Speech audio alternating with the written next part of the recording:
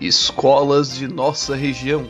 Hoje vamos conhecer o histórico da Escola de Educação Básica Professor Humberto Hermes Hoffmann.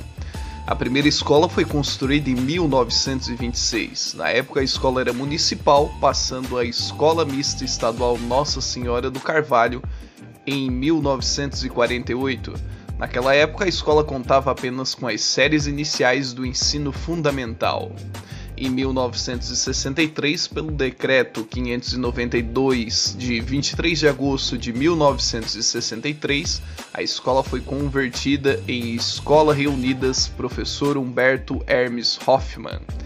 Pelo Decreto 9307 de julho de 1970, passa a se chamar Grupo Escolar Humberto Hermes Hoffmann, oferecendo aos alunos o ensino de quinta a oitava série, sendo implantado gradativamente nos anos de 72, 73, 74 e 75.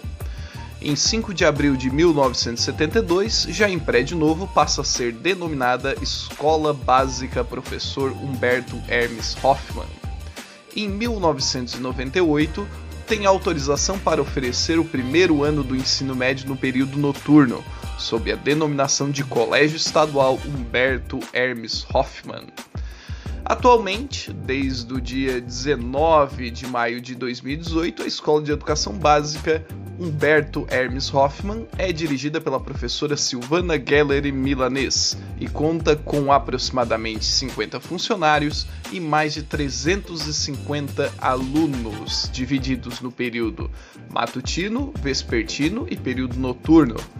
Conta com 14 salas de aula, uma sala de vídeo, um laboratório de biologia, química e física, um laboratório de informática, uma biblioteca e uma sala de serviços de atendimento educacionais especializados.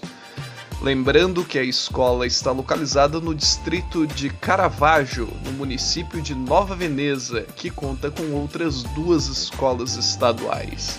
Este foi o Escolas de Nossa Região.